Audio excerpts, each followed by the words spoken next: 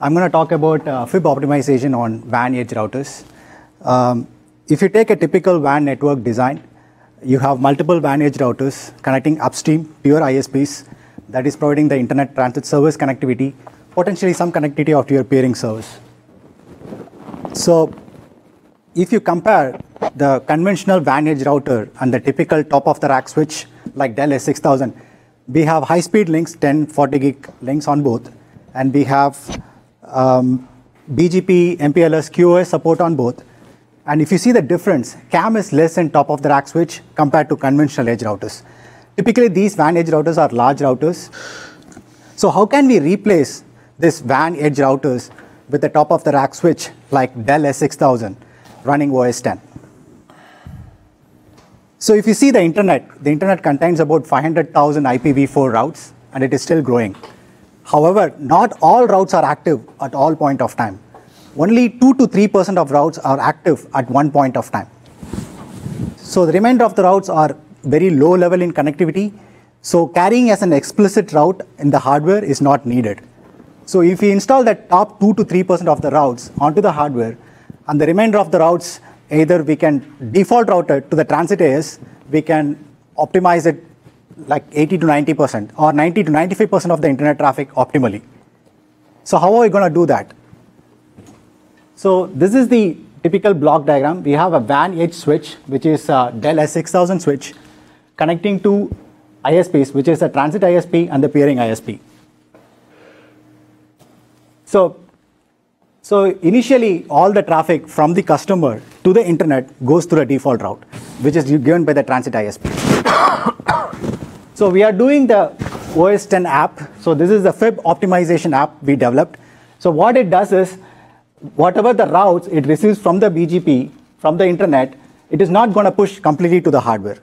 So what we are going to do here is, we are running SFlow agent on the switch, which monitors the top, top N flows, and then push that push those routes to the CAM table. So as Cliff mentioned about CPS APIs, um, you know, programmability of the switch. So we are using CPS API here to push those top N routes to the hardware. So that the packages we are using here is SFlow agent on the switch, uh, Quagga BGP for getting all the BGP routes, and uh, uh, SFlow collector, which is running on an external VM, which is SFlow RT, to collect all the top N flows. And uh, we are running also the web server on the switch, which, which, uh, which programs these routes using the CPS API. So we just call those CPS APIs using the HTTP get or HTTP push, and then we install all those routes in the hardware.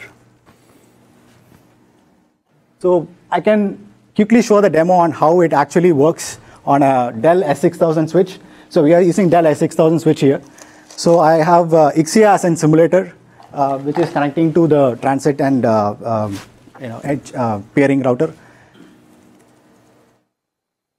So assistance switch is running OS 10 software. So it is running a base version of the software. So it has the um, uh, Quagga BGP, which is getting all the BGP routes. And we are using CPS API, which we wrote a Python wrapper, which will call the um, uh, API to install all those routes into the hardware. The use case is, I think, pretty straightforward. I think you guys got it. I mean, this is essentially trying to use a traditional top-of-rack switch in an internet-facing environment where instead of downloading like 600,000 routes into this into the uh, switch hardware, which you cannot because it's limited by the CAM space, uh, you select a few routes. And how do you select a few routes? You use SFlow to identify the top N routes and install those routes into the CAM table of the switch. In a way, you have sort of an internet-facing WAN switch, if you will. And that's enabled with the CPS API. So that's what.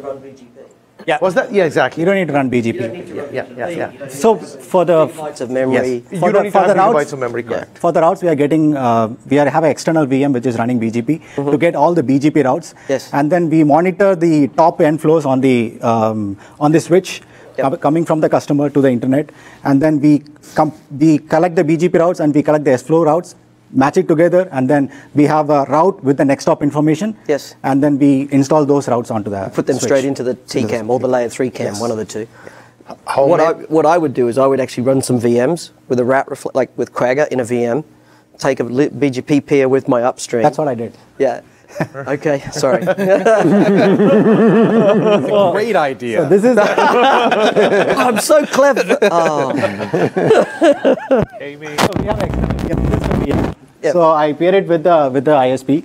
So we get all the BGP routes, Yep. and we monitor the um, S flow top inflows on the switch. We get all those information, club it together, and then we use CPS API to program the top inflows on the switch. See, he's as clever as I am. Where is the limit? How many top flows can you identify? Uh, we are giving the sampling rate uh, of 256, and then uh, we are monitoring every every 60 seconds, Yeah. and then we are checking what are all the top N flows So right now, if you see, see S6000 with a Trident 2 platform, uh, it it has 32,000 uh, CAM entries. But if you see the internet routes, uh, we have 500,000 internet routes, but only like 4% of the routes, maybe 15,000 or 20,000 or routes are The most commonly used route. commonly used. So we only install those routes onto the hardware. But the remainder of the routes, we are not, we are not like, are not carrying, I mean, caring about that. We are just having a default route going to the transit AS. So the rest, rest of the traffic is very minimal. So that all goes to the default route through the transit AS. So as the traffic flow starts, it might not be optimized, but within 60 seconds or two minutes, Yes. it'll be optimized It'll- per. Yes, optimized. yes. Right, right. I can show you the demo right now.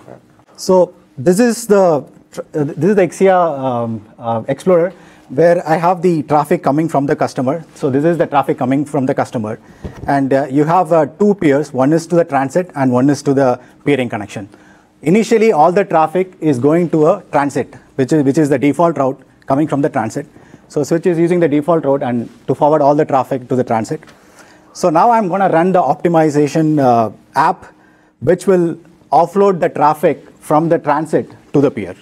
So if you see now, the 70% of the traffic is going to uh, optimally forwarded to the peer, and rest of the traffic is going to the transit. Right. So this is the uh, information we got. So this is these are the uh, S flow entries we got from the switch. These are the top, top N flows, which are 76 routes, and these are the total BGP routes. I have 500 routes, and then uh, it is running every one minute. So it is adding all the 76 routes onto the hardware, and then you can you can detect it here. So this is running every one minute. Uh, so so the next next run it is showing that 100 percent 100, 100 routes received from the S flow, and then it, it install. So every time uh, new routes will come, the new routes. Uh, um, so the existing routes might be deleted, and the new routes will get added. You know that's that's the information is showing here. So route update route add is 32 and route deleted is 8. So this is how it works. Um, you know using this fib optimization app. Correct. Very good. Thanks, uh, Madhu. This is a this is a good use case, and thank you for that. Uh, any questions before we move on to the next one?